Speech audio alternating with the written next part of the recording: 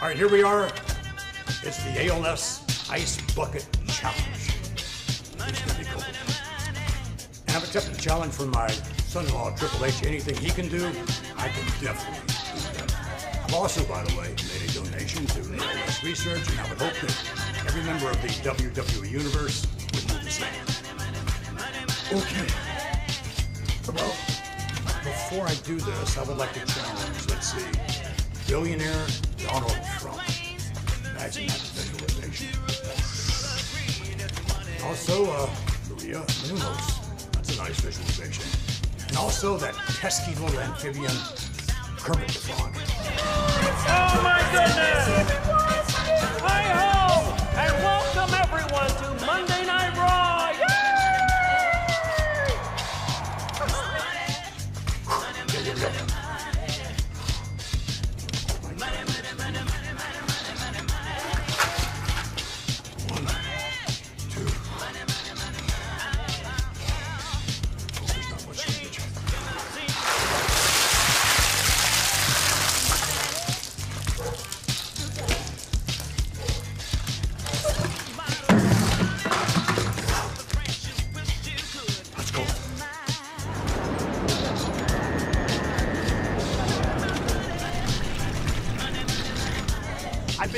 Out by everybody for the ALS Ice Bucket Challenge. Homer Simpson, Mike Tyson, Vince McMahon, like everybody's going crazy over this thing. I guess they want to see whether or not it's my real hair, which it is. So here's what I'm going to do.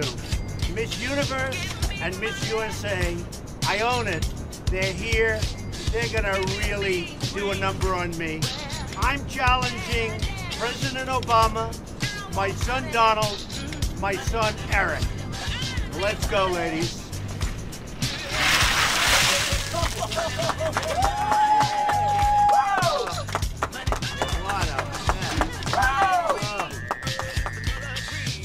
Greetings all, this is Kermit the Frog coming to you from the hot, swamp where I am ready to accept the ALS Ice Bucket Challenge from WWE's Vince McMahon, in which, by the way, he referred to me as a Pesky little amphibian. to which I replied, Oh yeah! So, here we go.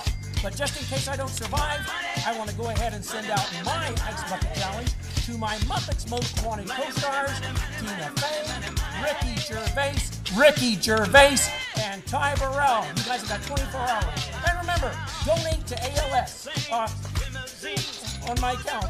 Three, two, one.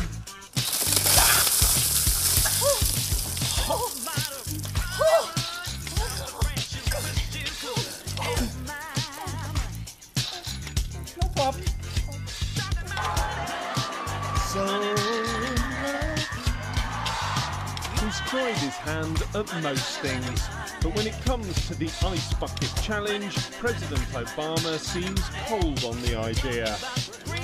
George W. Bush was soaked by his wife Laura. It's unclear exactly whose challenge the president is refusing.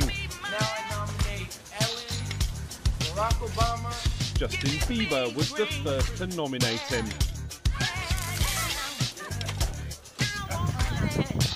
And 86-year-old Kennedy family matriarch Ethel also named him after her drenching.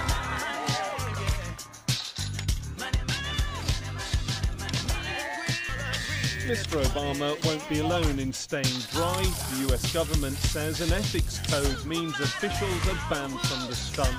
So the White House won't become the wet house. But the charity says the president has donated an undisclosed sum. Ben Moore, BBC News.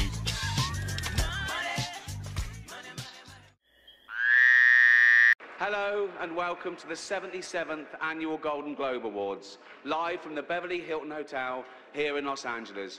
I'm Ricky Gervais, thank you. You'll be pleased to know this is the last time I'm hosting these awards, so I don't care anymore. Um, I'm joking, I never did. Let's go out with a bang. Let's have a laugh at your expense, shall we? Remember, they're just jokes. We're all going to die soon, and there's no sequel. I came here in a limo tonight, and the license plate was made by Felicity Huffman. So no. Shush. It's her, it's her daughter I feel sorry for, okay? That must be the most embarrassing thing that's ever happened to her. And her dad was in Wild Hogs. No one cares about movies anymore. No one goes to the cinema. No one really watches network TV. Everyone's watching Netflix. This show should just be me coming out going, well done Netflix, you win, everything. Good night. You could binge watch the entire first season of Afterlife instead of watching this show. Spoiler alert, um, season two is on the way, so in the end, he obviously didn't kill himself. Just like Jeffrey Epstein. Shut up. I know he's your friend, but I don't care. It was a big year for paedophile movies. Um, Surviving R. Kelly, Leaving Neverland, Two Popes. Shut up. Shut up. I don't care. I don't care. The Irishman was amazing. Long, but amazing. Um, it wasn't the only epic movie. Once Upon a Time in Hollywood, nearly three hours long. Leonardo DiCaprio attended the premiere, and by the end, his date was too old for him. So. Many talented people of colour were snubbed in major categories. Um, unfortunately, there's nothing we can do about that. The Hollywood foreign press are all very, very racist. So we were going to do an in memoriam this year, but when I saw the list of people that had died, it wasn't diverse enough. It just, no. Apple roared into the, the TV game with a morning show, a superb drama, yeah